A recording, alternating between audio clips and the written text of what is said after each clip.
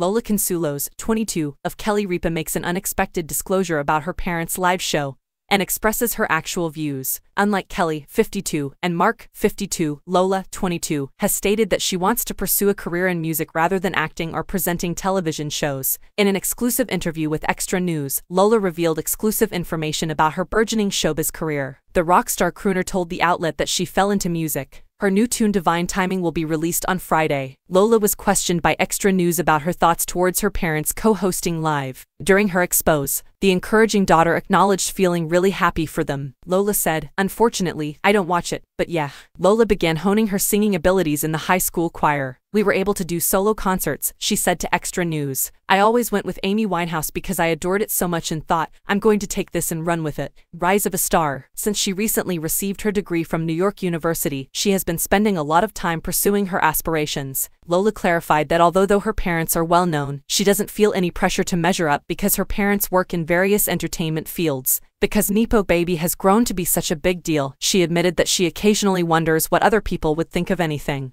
Because they aren't involved in the music industry, there is no connection between the stress I experience and what they do. Thank God. Last year, Lola posted the first song she had ever written to her Instagram page, Advanced Songstress. In the video, Lola sings the words to her brand new song, Paranoia Silver Lining, while addressing the camera. Lola strolls backward on a wooden dock while the sun sets behind her, looking stunning. A white cover-up is then removed by the aspiring artist to expose a black swimming suit. After turning, she dashes off the dock and carelessly dives into the lake. From only the little video of the song Lola has been promoting, it appeared like fans were enjoying the new song. On her TikTok page, one user wrote, This is such a summer mood. I can't wait, Lola. Wonderful voice. Wow, I had no idea. I can't wait to hear the complete tune. Another person wrote, I love this sound. This young lady has something, another remarked. Over the course of several weeks in August 2022, Lola posted a number of videos promoting the debut of her single. In another video, she can be seen relaxing by the pool in a white bikini top while her adoring friends jam out to the song.